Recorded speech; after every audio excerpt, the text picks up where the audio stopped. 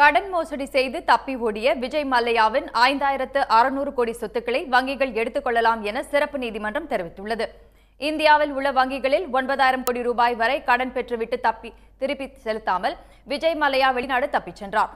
அவருக்கு எதிராக எஸ்பிஐ உள்ளிட்ட வங்கிகள் கடந்த இரண்டாயிரத்து ஒன்பதாம் ஆண்டு வழக்கு தொடர்ந்தன.